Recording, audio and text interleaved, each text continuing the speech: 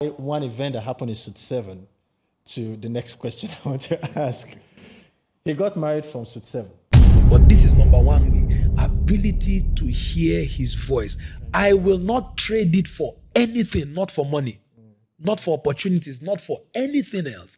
If you can hear God speak to you, man, you, you it's very difficult to miss road. Good chap. Um, I didn't actually want to be a pastor. That was the first thing. I think I, I first knew what I didn't want to be. Wow,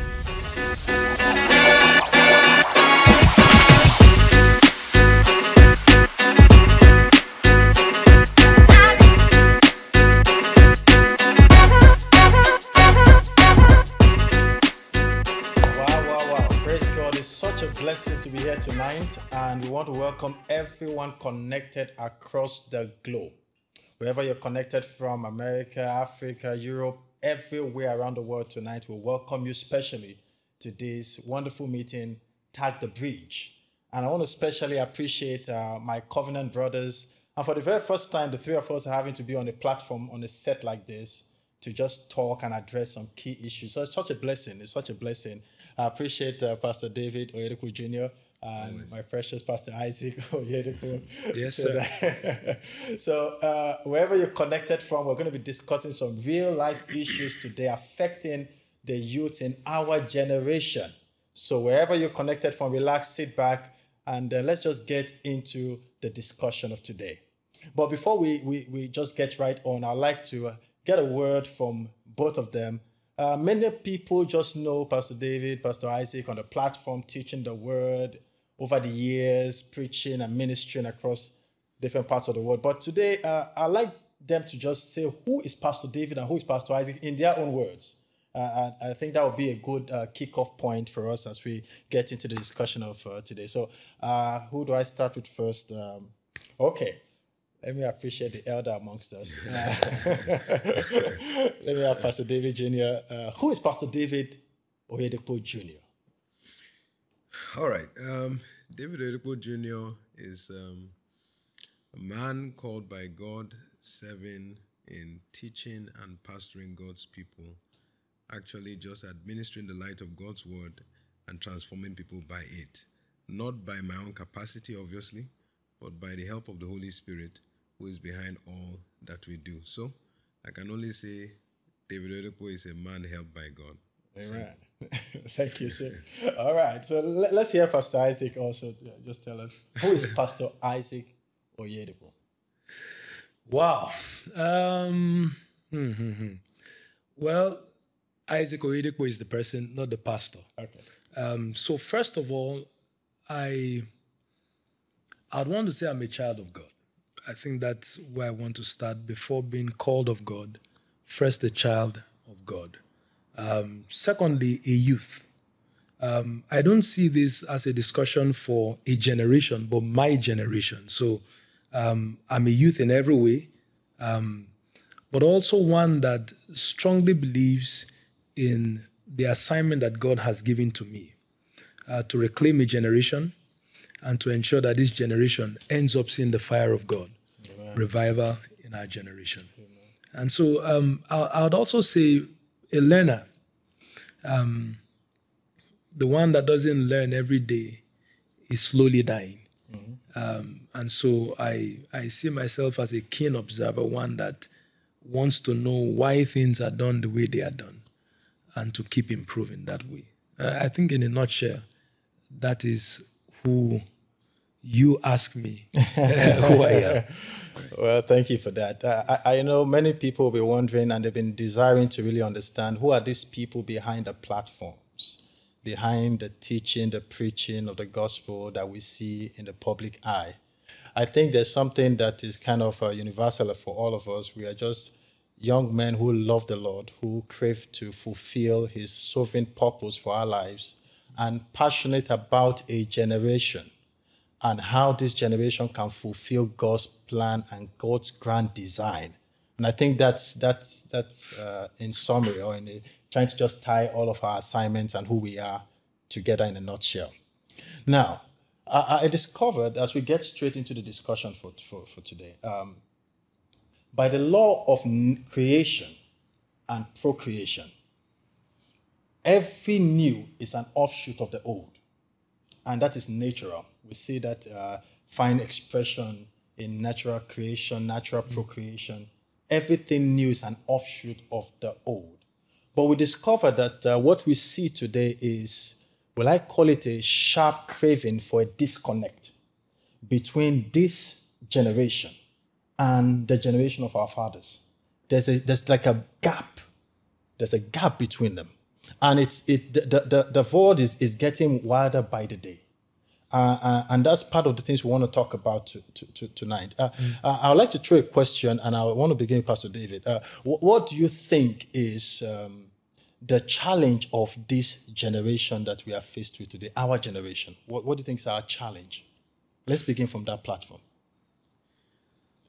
Well, I think that that's sort of like a, is a big question. Mm-hmm. Um, and I would say that um, my answer will not be holistic, yeah. But it will probably be just um, a slice of what I think the issues are. Uh, you, as you mentioned earlier, you said that every um, new. new. thing is the product of the old. Yeah. Um, that's the law of nature, the law of creation, the law of procreation. Yeah. And I think that um, I believe that sometimes in the bid to go forward, um, some believe that there is a need to disconnect from the past. Mm. Mm. However, you can't go forward without a connection to the past. Yeah. Uh, it has been said that you can only see further by standing on the shoulder of giants. Yeah.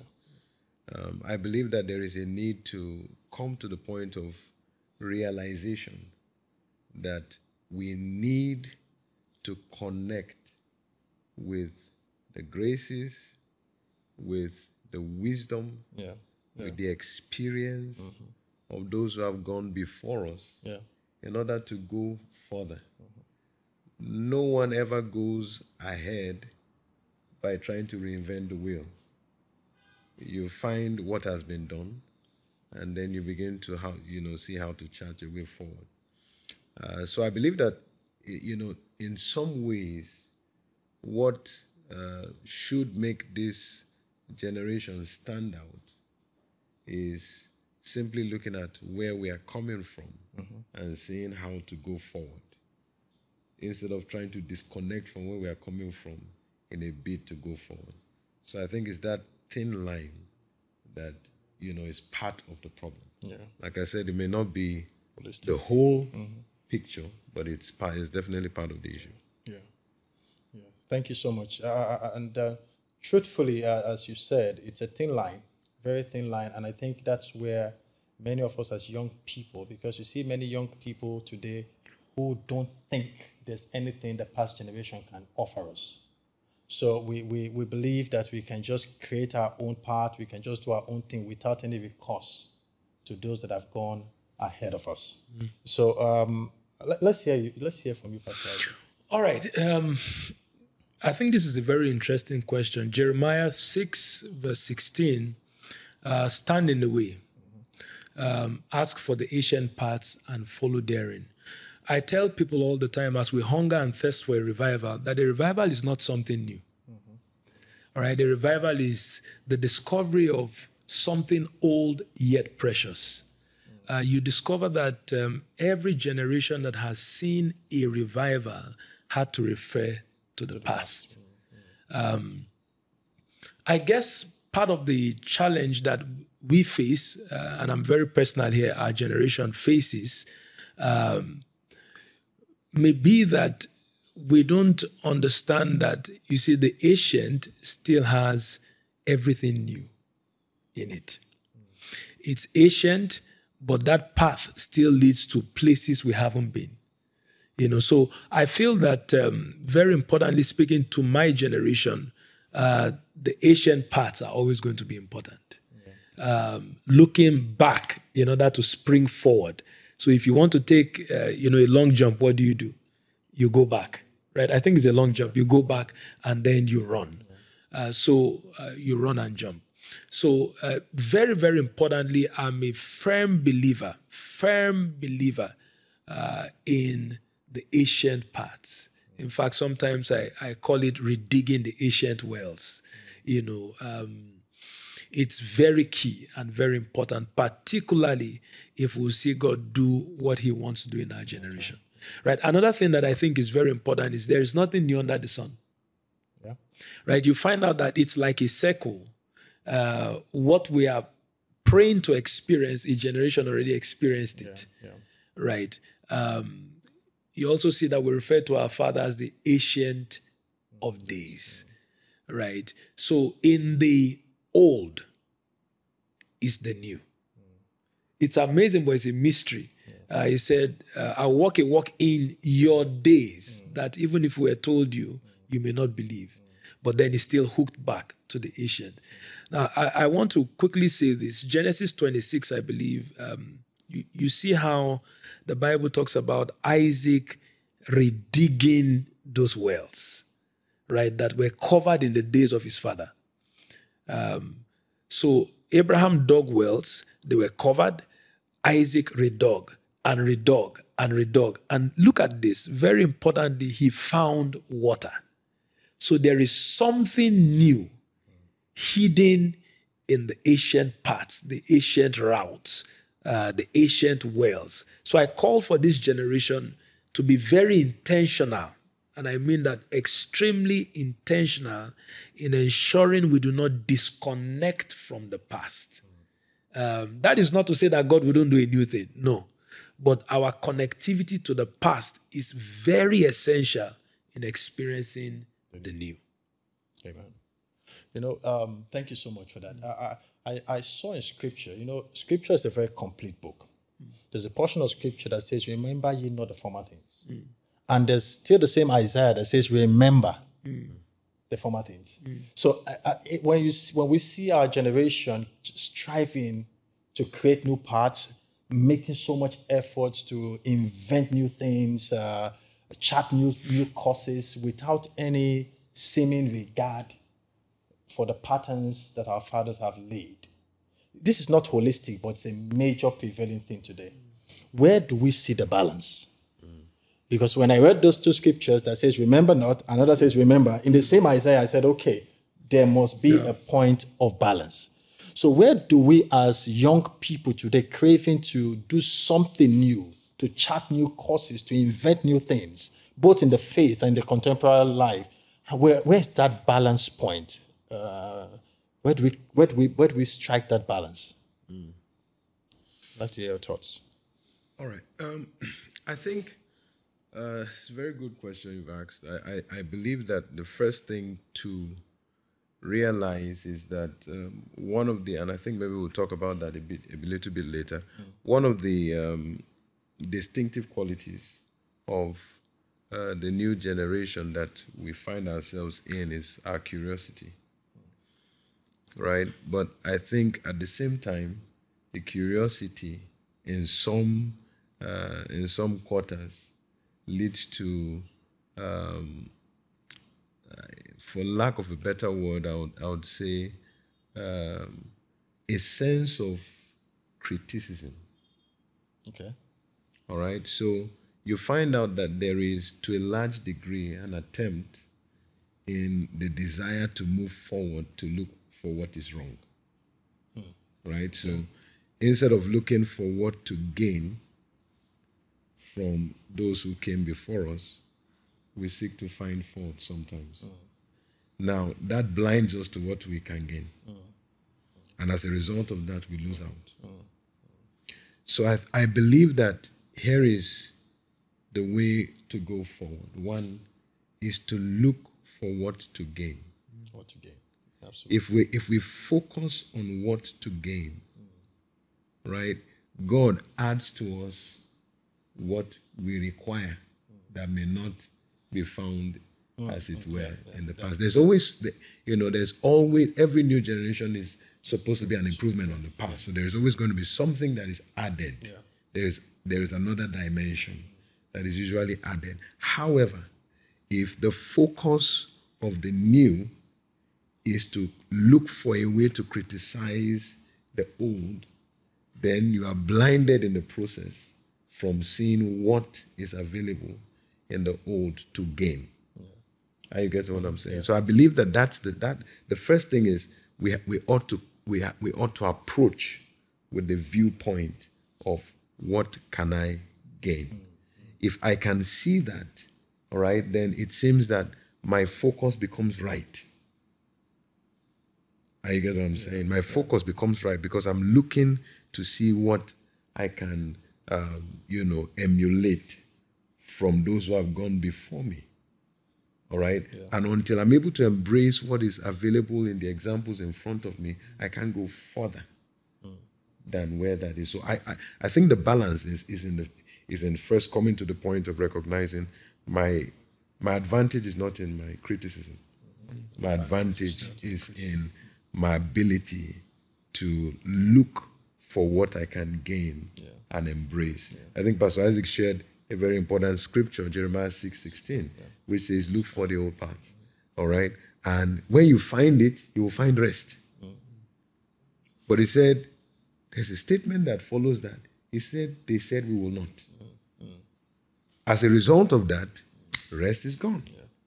So the advantage is lost, right? Because we want to create a new path instead of following the old path. So I think it's about coming to the talk because we heard others talk. Yeah, yeah. A lot of life is about imitation, right? Which means that a lot of life is the product of what we have seen before. Mm. In the same vein, you know, a lot of our future is going to be in embracing what we have seen in the past. So if we look at what to gain, I think it neutralizes a lot of, you know, a, a lot of the um, difficulty that we find in our time and generation. So I, I believe that that's one of the one of the key, the, areas the key areas that will help to bring some level of balance. Yeah, that, that, that's very phenomenal. Thank, thank you for that. Thank you for that. Now, I, I- I'll let you speak. Uh, we, we live today in a very fast-paced world. It's a jet, jet, jet world. The, the, the, the pace of this generation is, is, is phenomenal. It's like it's, it, we're operating a dimension that, truthfully, the generations before us probably never operated at such dimension of speed technology is advancing so greatly, knowledge is expanding so greatly, uh, and we discover so much uh, um, qualities being exhibited in the in the youths of today. And I think uh, because of all of these unique abilities, uh, skills that many young people are now exposed to today, uh, somehow, somehow, somehow, somewhere, we begin to feel we, we the, the, the, the, the ways of the fathers are outdated. They are out of touch. Uh, Pastor Paul Enenche was speaking recently and was trying to still draw the heart of the sons back to the fathers. And he was speaking so passionately about this subject. Just today, I stumbled on that clip. Someone showed it to me. So, how, eh, from looking at it from that perspective, so much is going on with the generation today. So much information, so much technology, so much, so much, so much. Our fathers appear to have followed a pattern that seems, in quote, not as fast paced as we have today. Where do you think we can also place that balance as young people today, not to disregard and feel Yeah. what they lived by is outdated? All, all right. I think before I answer that question, where Pastor David left off was quite important. And, you know, he talked about ensuring that we look for what to gain. I, I think that subject needs to be further expanded on looking for what to gain. Um, one of the principles of life that I've come to discover is that when you understand your imperfections, it's easy to accept the imperfections of others. Um, you who try to criticize, understand in the first place that you are not perfect. And I think from my introduction, I said one of the things that I do intentionally, not mistakenly, is observe. I learned that from one of our fathers 17 years ago. I asked him, I said, Sir, what do you think the protocol for success in ministry is? And he said, observation. Right? And that observation is not just for the person on the other side, but also you understanding your limitations. Let me also quickly say the one who is young today will be old tomorrow. It's a circle. Right now, we think that our generation is fast paced, but check your children. They are faster. Yeah. Right. So I, I just had to bring that out to say, look, it's very important that we understand that uh, criticism, pulling another person down, is not the way up. Right. To go up, observe, pick all you can pick.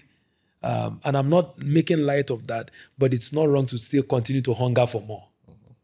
But make sure you're observant, pick all you can pick, because the one who is also observing is not perfect in any case. So, back to your question.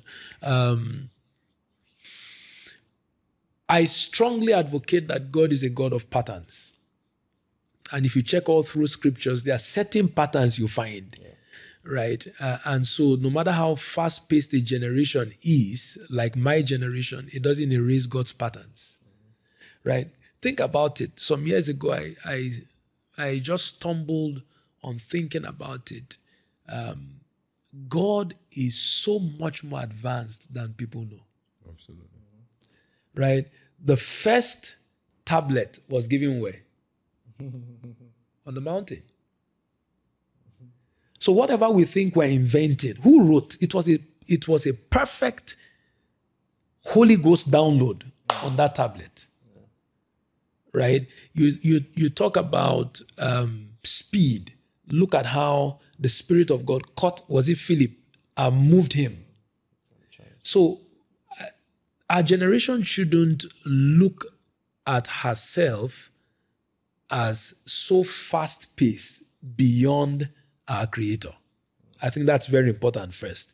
We are not, whatever we are saying now, a generation still beats it. Yet, mm. there has never been a review of the scripture. Mm-hmm. Right? So I don't see our generation as better advantaged. I, am not sure, M- maybe in some light than the previous generation. Um, I just think that we have so much more examples to be able to follow from follow rather, and learn from.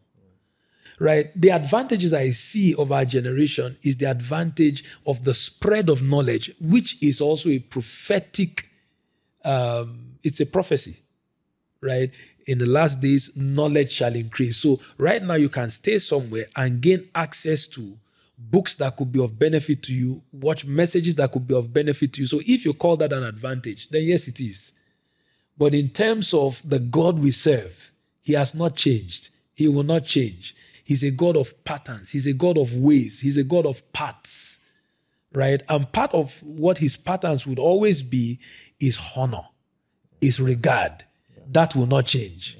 Regardless of the generation. So I, I think bringing balance to this, it will be important first to note that the creation is not further developed and advanced than the creator the creator is always ahead right? Um, and then i think also bringing balance would see that even though technology may seem to have given us some advantages we it, it, it doesn't make us better. It only gives us access to the things. For instance you can now stay and watch kenneth hagin messages before you were born. Yeah.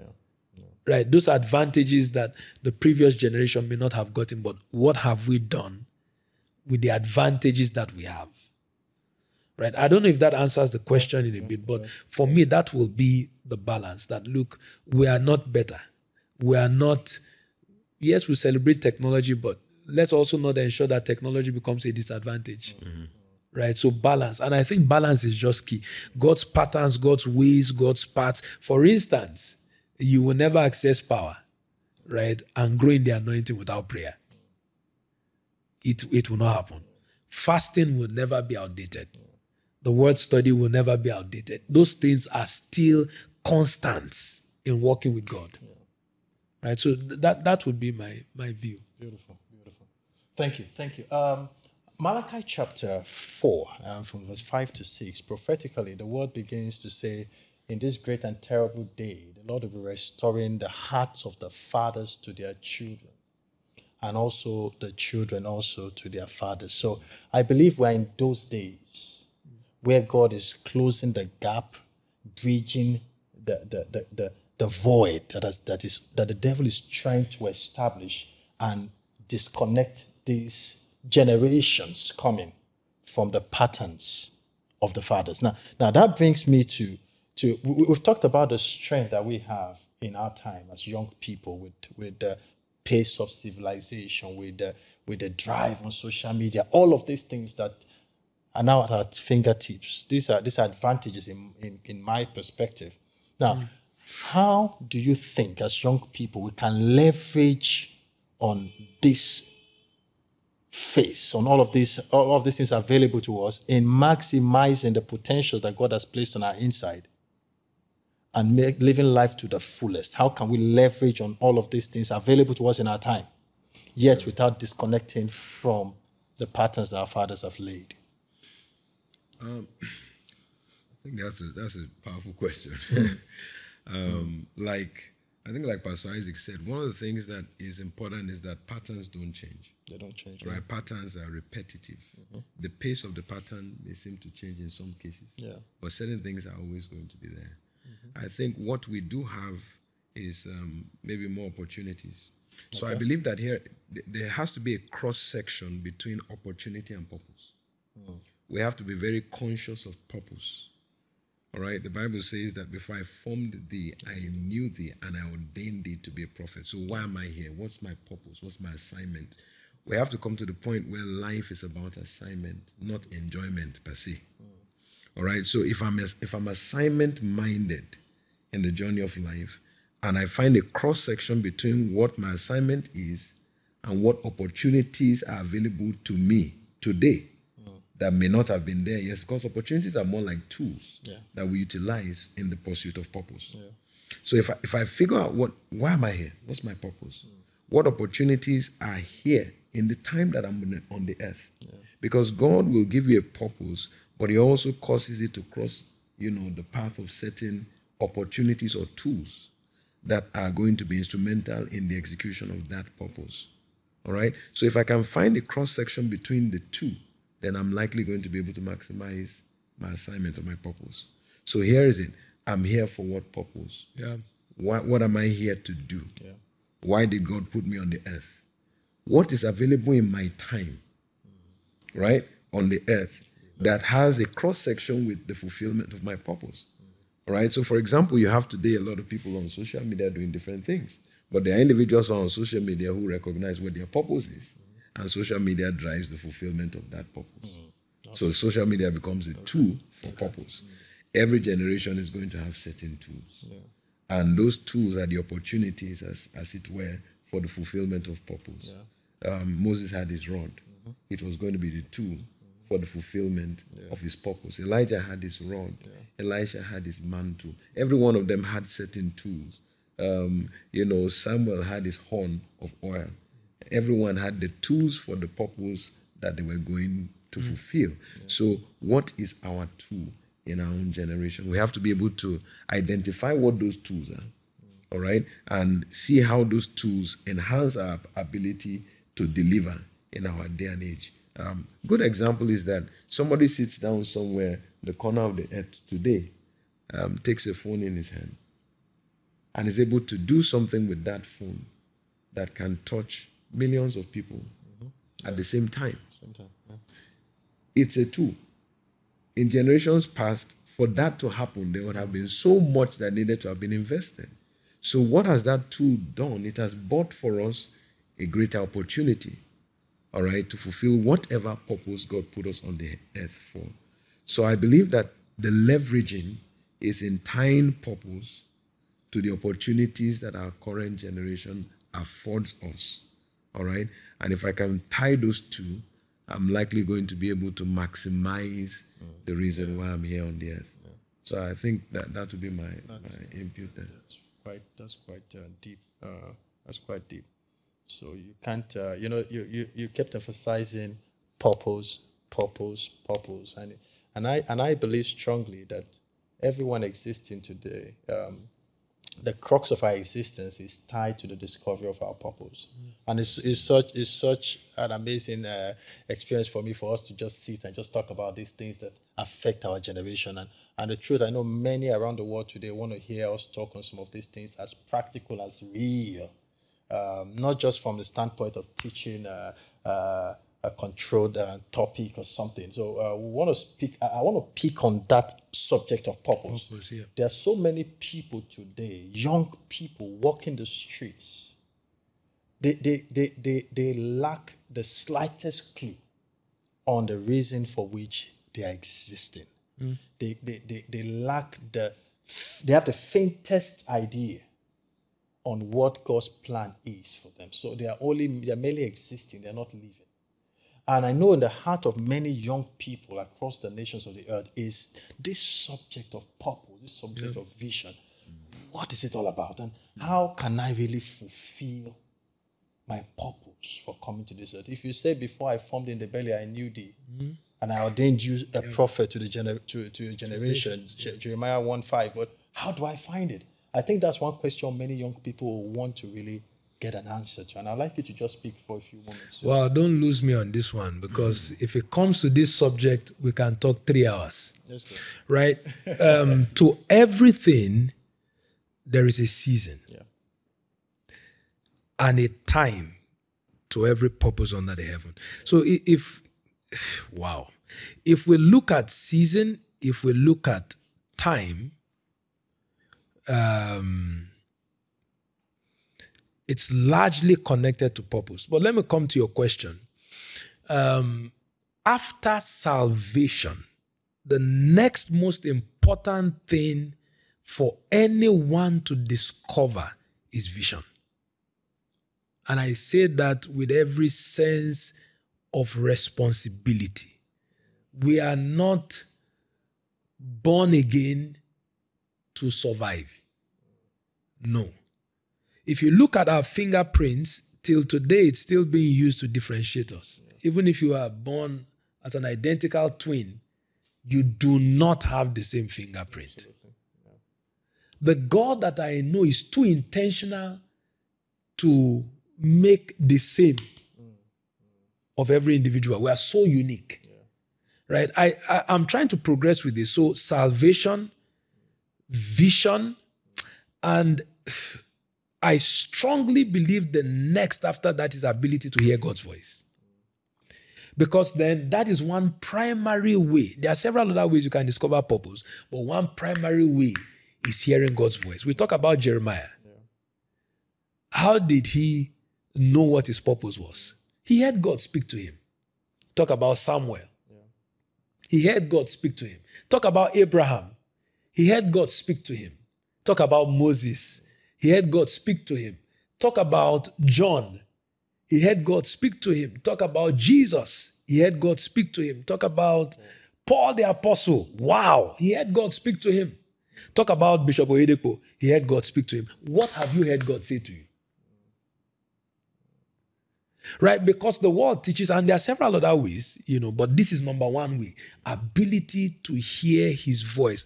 I will not trade it for anything, not for money, not for opportunities, not for anything else. If you can hear God speak to you, man, you, you it's very difficult to miss road.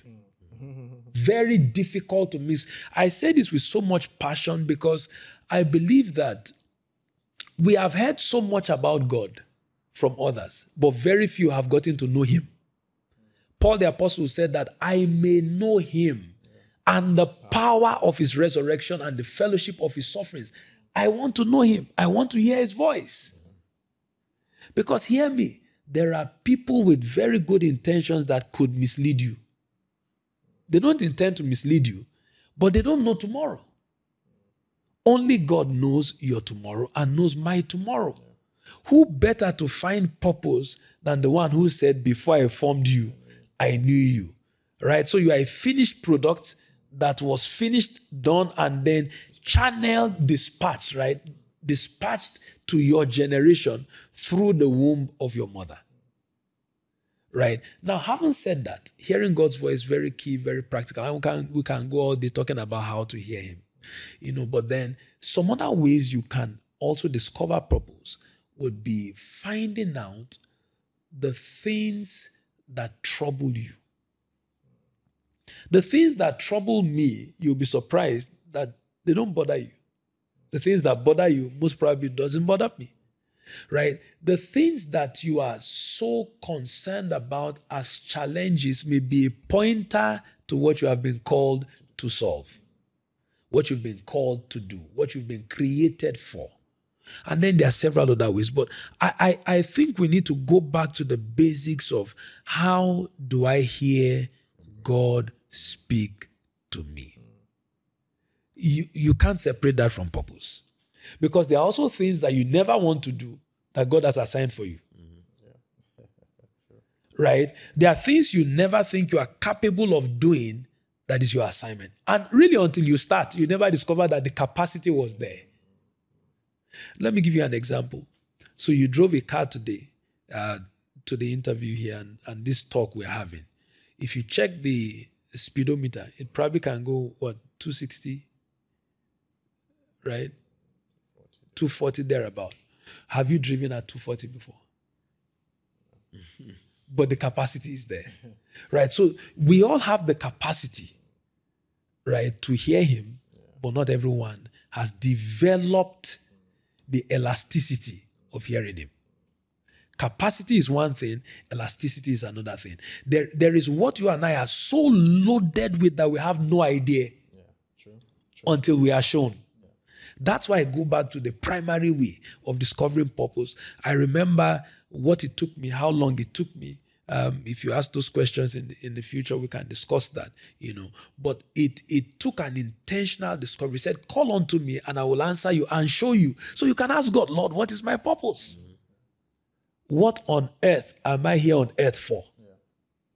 Right. And once you discover that, you it becomes so difficult to be distracted. Now, let me also say something that you didn't ask, but I don't know if we'll have the opportunity to say it going forward. It's also important to know that purposes are in phases. Right? They're in seasons. He makes all things beautiful in his time. And if you go back and look at our fathers, you discover that these things are unveiled in seasons. For instance, God told Abraham, He said, Live where you are to a land that I will show you. So the first thing is take a step. And then as you take a step, I will unveil the next, and then unveil the next, and then unveil the next.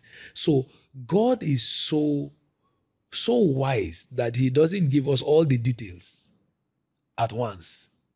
Because if all the details are given at once, the fear of even taking a step um, comes in. So I think it's also important to say, look, hearing God's voice is important in discovering vision. Um, it's important in following direction. Because there are some people that have authentic and real visions, but the directions, the steps are wrong. The vision is authentic. Never look at anybody and say, oh no, God probably never spoke to him or he didn't discover his purpose. That may not be the case, but the steps may have been wrong. The timing may have been wrong, right? Because purpose, season, time all has to work together. And then you now discover that some people have overstayed in a phase without knowing. Because the last they heard is the last they heard. Yet a new face has unveiled, they have no idea. So again, I think it's very important to call a generation back to say, look, it's important for us to be able to discover his voice. The voice of the Lord is powerful. It can break anything. It can give direction to any situation. Let's go back to learning how to hear from him and not learning how to hear from others that tell us about him. Our fathers have learned to hear him, right? It's important for us to be able to say, God said to me. It's very important. Yeah, that, that this, this concluding phrase, I think, is one phrase very few believers or even Christians can hardly say. God said to me. And when we look at the whole of this, uh, all of the statements you shared, it, it just points to the sovereignty of God. Mm the sovereignty, the almightiness of God in creating every one of us as unique entities with unique assignments on the earth. And the truth is, our fulfillment in life ultimately lies in the discovery and the pursuit yeah. of that which God has called us as individuals to do. Mm. And I think that's why that subject is so crucial. I, I, I know many persons uh, will be desiring to, to hear us even speak a little bit on how did we find our own purposes and our visions for life. I remember back in the day at Covenant University, uh, one of those days towards the graduation time, uh, I think that should be 2006 or so. Um, I, I, I had to literally lock myself up for I think about two, three days in my room there. And I was craving. I told the people around me, don't look for me. It was a holiday time. I'm not going to come out. Just leave me there. I was craving to understand this life that I've come to live is beyond just acquiring a certificate as a graduate of a university.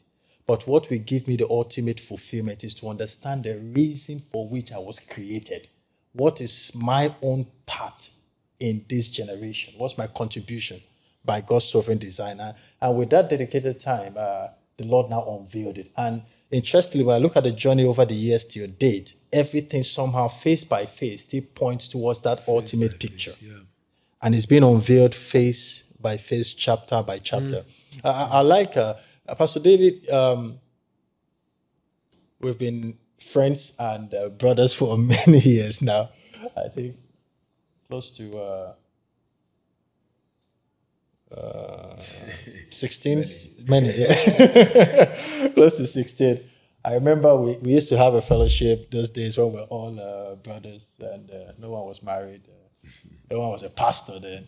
And uh, we used to sit on weekends to talk about vision vision and where God was taking us. And sincerely, looking back to some of those days, sometimes I just laugh, but those little, little days, those little, little discussions, we used to sit just as casual, just mm. in, I think in a youth chapel or something, we meet then and just discuss. And we're, and we're trying to share what is God calling everyone to do. Have you found it out? And it's interesting to just see that years after, everyone is beginning to find their right footing in where God has called them to be. And I'd like you to share your own experience. I, I know many people, both within the commission and in the Christian body and even outside, they, they look up to you as uh, another leader in this generation that has found his own unique assignment. Uh, I'd like you to just share how was that experience? How did you find it out? Yeah. Your purpose and your vision. All right. So I think my, my experience was a little bit in, interesting in that um, uh, I think, you know, as, as a young as a young chap, I didn't actually want to be a pastor. that was the first thing. I think I, I first knew what I didn't want to be before I discovered what I was going to be. and because I didn't know what I mean, because I knew what I didn't want to be, I started to sort of chart my own course and figure out what I wanted to do. Um, the problem with that was that um, I, I started having too many things that I wanted to do.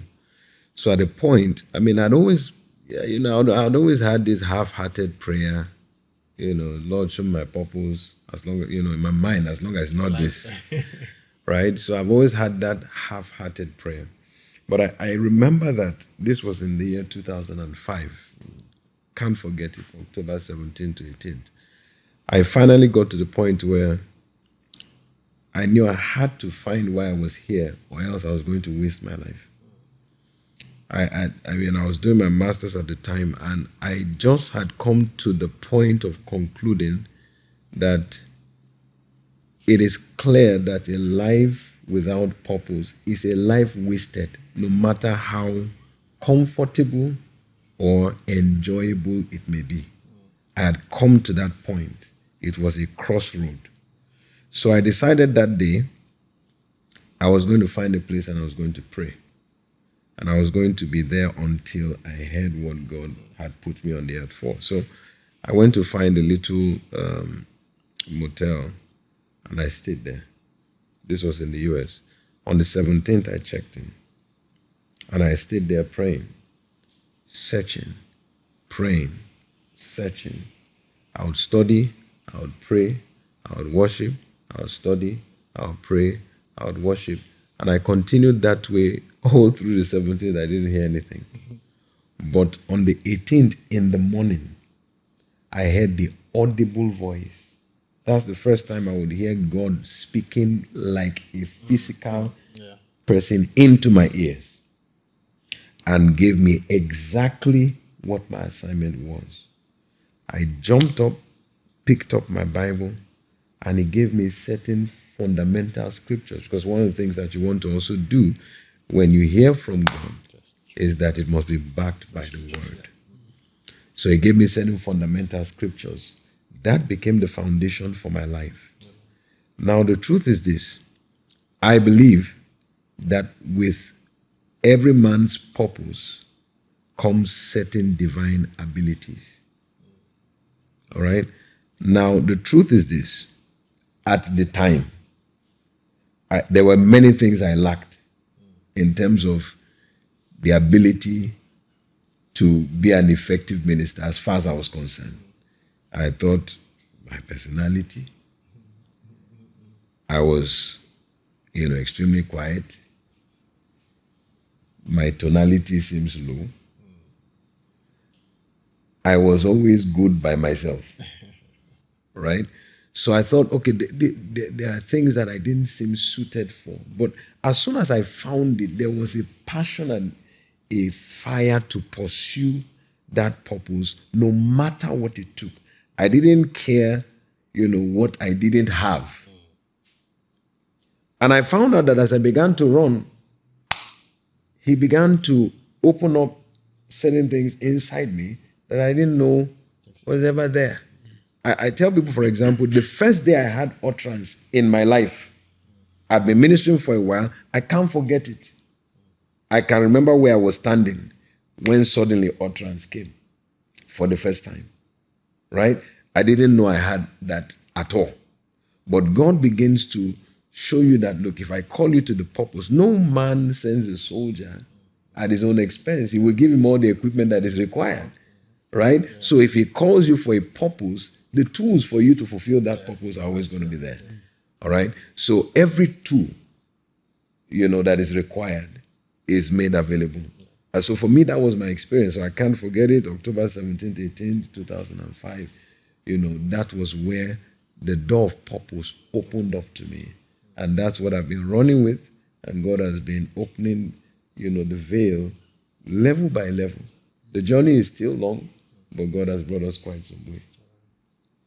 Praise God. Uh, there's something very significant I've, I've discovered in our quest to discover purpose and understand our vision.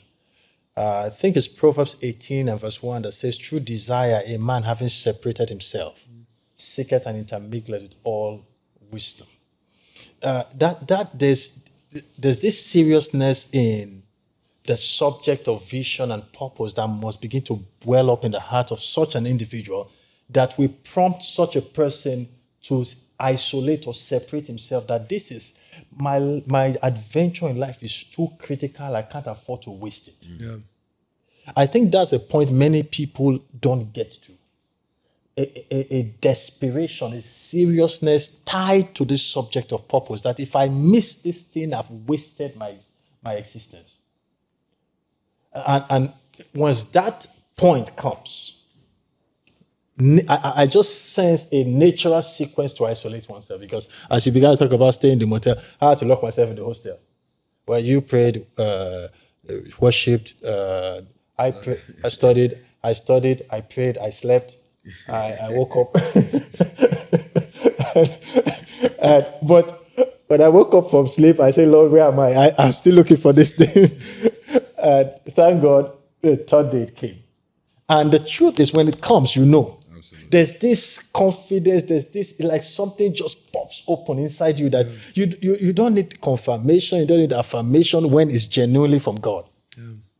So uh, uh, when I hear people say, oh, God spoke to me, I'm trying to, uh, what do you think? What's the Lord saying to you concerning my, uh, no, he's saying nothing. he doesn't say nothing. You, you go settle before God so yeah. you can. So I, I, I like Pastor Isaac to also share your own experience and how you found this purpose of yours or your vision for life? I think many want to hear that. All right. So um, mine is a bit of a different experience in many, many ways. Okay. Um, I wasn't looking for one when I found one. Um, it was my sophomore year in Oral Roberts University, and that's why I have such a strong tie to that school, um, that prestigious university. I just finished classes uh, for the day. I think it was an afternoon period where I had some time and went to the hostel and slept. And I saw what you would consider as a vision. I saw myself back in Nigeria. Now I was in the US. I saw myself back in Nigeria saw myself, I think, around the Yanokpaja area, and um, saw myself on what we call an Okada, right? The vision opened up, and I saw a very young chap. I wouldn't give the details of that. I've never shared that publicly, as it were. But then that's when I got a clue of what God's plan was for my life. Now, without me having so much detail, surprisingly, I wrote it down, kept it in my wallet. Then came 2006 when I began to cry for God's plan and purpose for my life. And then he said, I've already told you what it is. And so he took me back to what my purpose was already unveiled four years prior. Now it's it's amazing that sometimes God may have shown you his assignment for your life and you didn't know that is what it was or is. I had no interpretation for it at the time, but the Lord moved me to write it down. I still had that paper I scribbled this vision on four years prior in 2006. So when I was asking him, Lord, I want to know what your plan and purpose is for my life, he said, Go back. I've told you before. And I was wondering, you told me when? How? How did it happen? When did it happen? Now, this is where God's plan and purpose for my life, for my generation, came in. Right? I had no idea. Now, I want to also say that you may not understand all the details of the vision initially. Mm-hmm. But now, in the phase that I find myself, I still find myself referring back to the original vision. Surprisingly, when I came back about a year ago, I still have the document I typed out. This is as far back as 2007 in the original form, typed, sealed. I still had a look at it and I saw God unveiling that. I told you this 2006. It's compared to what I showed you 2003, so three years prior, sorry, not four years prior. Uh, and then now with what I'm telling you today, you still find it hidden in the same document. So mine was a bit of um, looking back to what he already showed me because at the time I wasn't asking for vision, but I found myself at the point in that vision where I was, if I remember correctly, sobbing. I saw the state of my generation in a little boy, had no idea, had no understanding of it. And then I woke up with so much, so much concern, so much deep rooted concern for what I saw in this vision that I was moved to write it down, kept it in my wallet. I changed wallet several times. I kept moving the paper from wallet to wallet to wallet. 2006, asking and crying to God, What is your plan for my life? He said, Go back, I've shown it to you before. And then from there, he began to unveil scripture. Uh, my brother stated that it's very important to ensure that there is scriptural background. Now, at the initial vision, I didn't know it was a vision. I just wrote it down. So there was no scripture. But now, scripture upon scripture upon scripture, showing me exactly what his plan for the first phase, as I knew it then, would be. Um, and then uh, I've seen that with phase coming here and there, new phases, sorry, coming here and there, there's also scriptural backups, but it doesn't deviate from the original vision. Right? Uh, so for me, that was my experience. Um, I didn't have to lock myself down. Uh, I didn't do that. It came to me without looking for it. But when it came to proving the vision, all right, I remember spending, if if if I'm not mistaken, not less than six months. Again, I didn't want to do it. Right? So, day after day, I found myself opening the Bible and saying, Lord, speak to me, confirming that this is your plan for my life. Day one, we're in suit seven then. Day one, day two, uh, first month, second month, third month. And I documented all of those things down still have the documents still today where the scriptures were stated. And then it got to the point where I said, okay, I surrender. I agree right? In life, it's very dangerous to take a step comparing yourself to another. He that compareth himself to another is not wise. I tell you, you mentioned something that really struck me. If you are fulfilled in what you are doing, you should be the one to know. If you are not fulfilled, you also know. Life will be so frustrating getting commendation from man but lacking fulfillment in your heart. There is just a way that you know I am doing what I'm supposed to do. And like Pastor David said, it comes with divine abilities. God will not give you an ability that doesn't match your vision. Right? So that that's an experience for me. It goes back again uh, to be able to hear God's voice. But the truth is, if you are really uh, passionate about discovering what His plan for your life is, He will show you. I didn't just say He will speak to you, He will show you. God is a God that speaks, God is a God that shows. And so we must be sensitive to be able to pick what these signals are part time. Awesome, awesome, awesome. Well, it's been a very interesting discuss time for, for us. And you mentioned something about Suite 7. Yeah. Many of you will not know what Suite 7 is, but uh, I think we know what Suite 7 is. it's a wonderful apartment. You own the apartment. Yeah, it was Pastor David's apartment. We're all uh, tenants. Tenants. Uh, tenants that never paid rent. I think I was even in school then. Till I were you still there after we left? No, no, no. But we're still students, so but we used to go to Suit Seven to to just relax and feel like graduates. um, and a lot of things happen in Suit Seven. Suit Seven. We'll tell you the story of Suit Seven another day. but one of the major things, and I'm going to tie one event that happened in Suit Seven to the next question I want to ask. He got married from Suite 7. In fact, I remember your wedding day. Uh, some events happened. uh, maybe I should say this or not. Uh, it's, it's, it's, many years past. We can say it. the testimony now. we literally forgot the wedding ring. And uh, the time was getting close for the exchange of the ring, and the men on the train were literally almost sweating. you know when you are speaking with your eyes, ring. You ask the person who is with it. Are you with it? Are you with it? No. Where is it? We left it in the suite seven. Suit seven again. Who can go to suit seven and get back within the next few minutes? And but those were all amazing times. Now, yeah. uh, suite seven was where uh, he married out of. Now, in the journey of vision and purpose.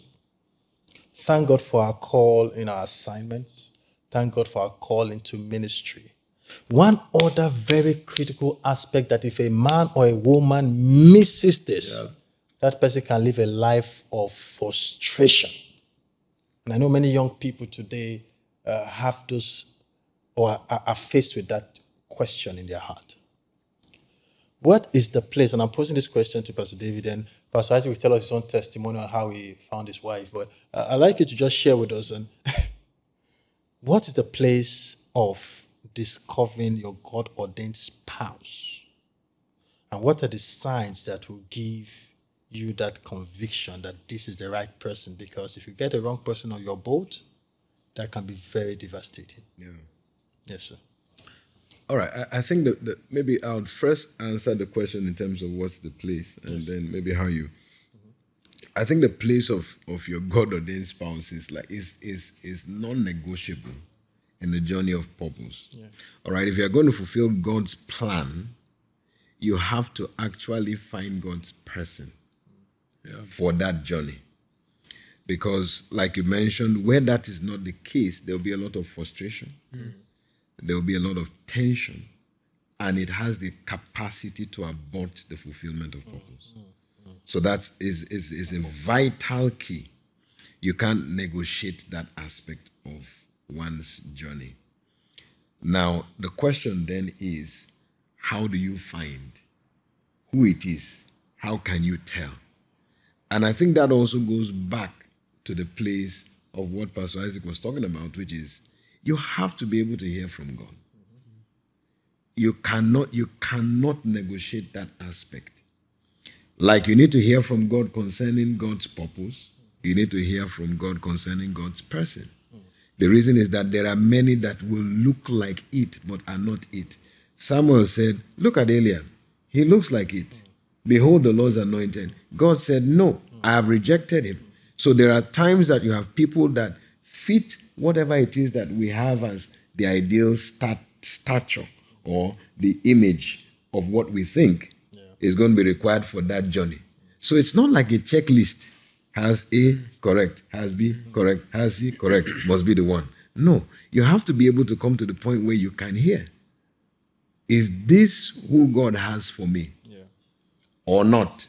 I think that is extremely vital. Now, that does not mean that when that is done, there is no work to be done. However, the first thing is that you have to clear that. You understand? You have to clear that. So, for me, in my own personal experience, I, you know, I said I found pop. I found what God called me to do in 2005. I met my wife much earlier than that. But the moment I discovered this is what I am here for, okay, my first thing was look, it will be wickedness for me to take you on a journey you are not supposed to go. So the first thing is look, I'm going to go and spend time with God and find out is this journey for the two of us? You find out also for yourself because you have to know. Each person has to be sure. They need to know. And that is where the, the, the capacity of everyone who is a child of God to hear from God comes into play. All right. So at that point, having now heard this is the, you know, this is who I want you to be with, this is your partner in the journey of life, and vice versa. There shouldn't be any pressure one from one person to the other. Everybody needs to hear. Yes. You know, and once that is cleared, it now becomes okay, what does this journey take? What will this journey require? And that's why a lot of discussion, you know, it bothers me quite a bit when I see two people who claim that, oh, yes, this is what I'm going on this journey with, as far as purpose is concerned, as far as God's plan is concerned, and they, the last thing they discuss is what the purpose is. To me, that's actually, it's like you're planning to fail. It, it, what the purpose is, is important, but how we are going to get there is, I would say, even more vitally important. So there is the need to begin to have, you know, very rich discussions about, you know, this is what God is showing me. How are we going to get there? What, what, you know, what is He showing you as well? You understand? Because everyone is created by God. What is, what's the meeting point? How are we going to end up at the place of fulfillment on this journey together? I think those are vital discussions that you have on that journey. All right. And then having found what those things are, then who must I be? In other words, what are the things I need to begin to work on myself, you know, to in order to fit that picture? Because there are things we need to shave off. There are things we need to add on. All right. There, there's a lot that needs to be. We are we are a product in process. Absolutely. And I think that discussion helps to sharpen, you know, one another in terms of getting towards what that ultimate picture is. And it's an adventure that you keep going through, as it were, in the journey. But I believe that that's one of the vital things. So you have to be able to first hear from God. All right? Each person needs to hear from God. No one depends on the other one's hearing. And secondly, having done that, we need to now begin to really express the details of what the vision is and how, you know, to get there, as it were. And then, thirdly, in my view, will be what, you know, I need to become. What do I need to shave off? What do I need to add on in order to be able to fulfill what God has called me to do and what He has called you to do? And like I said, what's the intersection of those two assignments as it concerns both of you? So I, I believe tho- those are the things Critical. that I feel like are, are important. All right. Thank you. Thank you.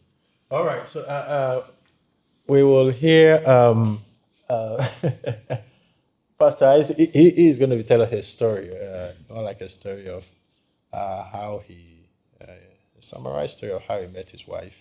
And he's been married now for 14 or 13. Check the clock.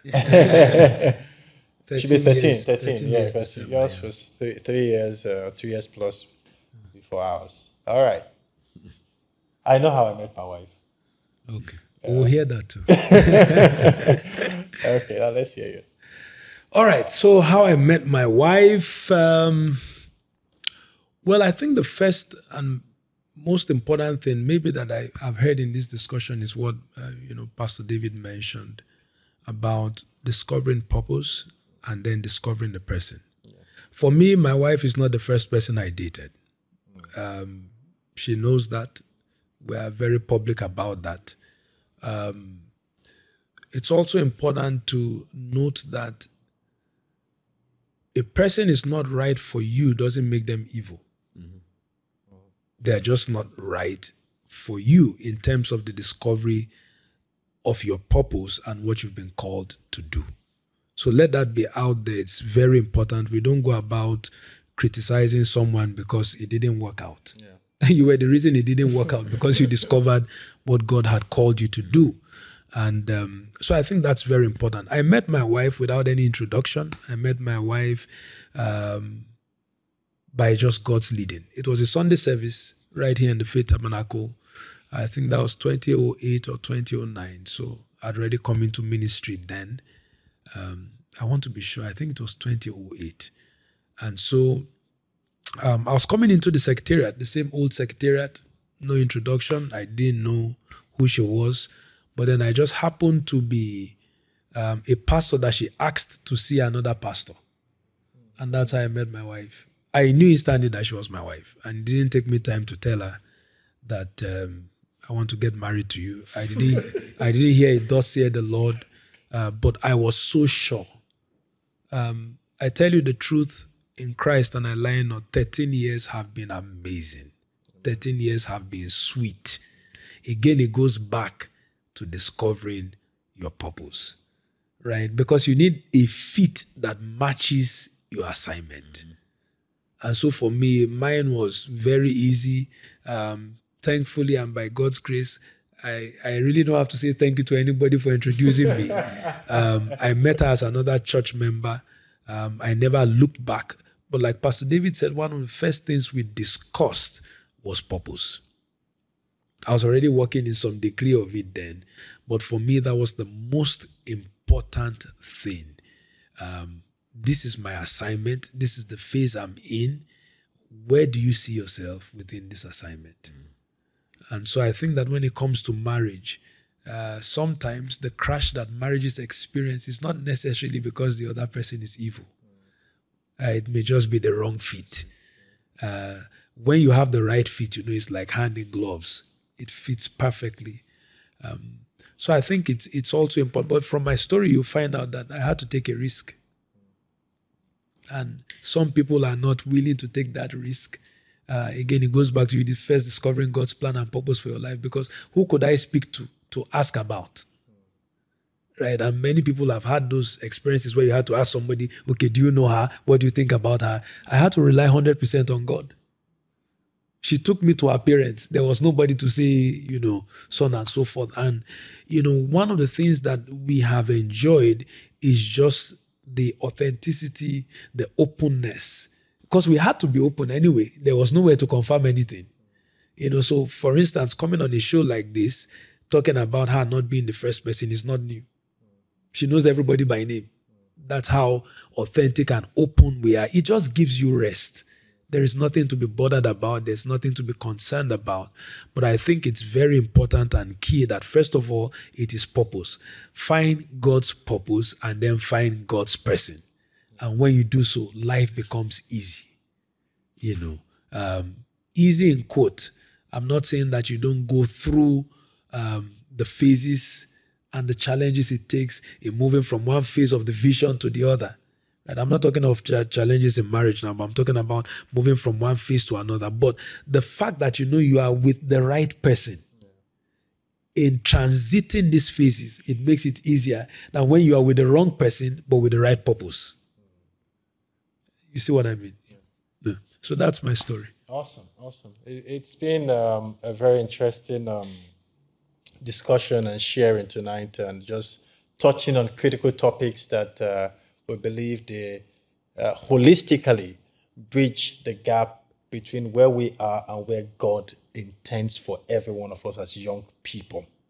Uh, so, I want to thank everyone for sticking with us, for spending the season with us. I, I want to believe that would have picked lessons, picked instructions, just learned something from all of the things uh, we've shared tonight uh, that we add value to to our adventure in life. I want to thank you for sticking with us all through. Uh, the Lord honor you. The Lord bless you. Uh, in the name of Jesus. Uh, we'll have uh, each person say uh, a word just for a few seconds, and then we wrap that up. Then we'll just answer the questions, which just be just point, but this like conclude. So just a concluding word, a concluding word. then we'll just talk on the question. Then we're done. All right. Um, well, uh, I, I, want to thank God for this uh, time and this opportunity that we've had to be here. Um, I want to also say that by no means um, is all we are saying, at least all I'm saying, um, conclusive, as it were. Um, we are all learning and we are all growing. And I, I, don't pose to be an expert. I'm only sharing from the things that um, God has helped one to both experience and learn so far. So I believe that um, I want to lay that out there so that we all recognize that there is still more to grow into, there is still more to see, there is still so much more to experience. And um, I want to leave that with us as well to keep yearning for more, to keep learning, to keep growing.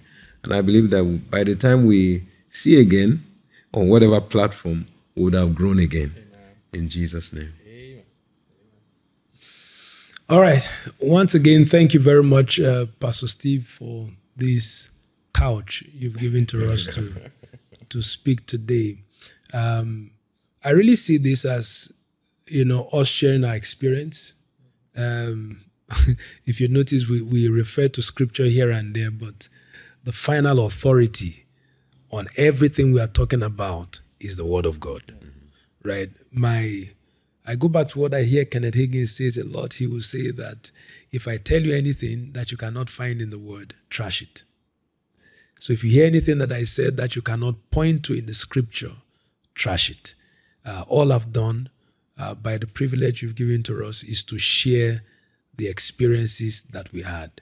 Uh, so, for instance, you know, somebody says, well, one person called to God before they discovered, another person discovered without calling to God. Uh, the truth is you don't determine how it happens. It's your duty to just, you know, catch it when it happens.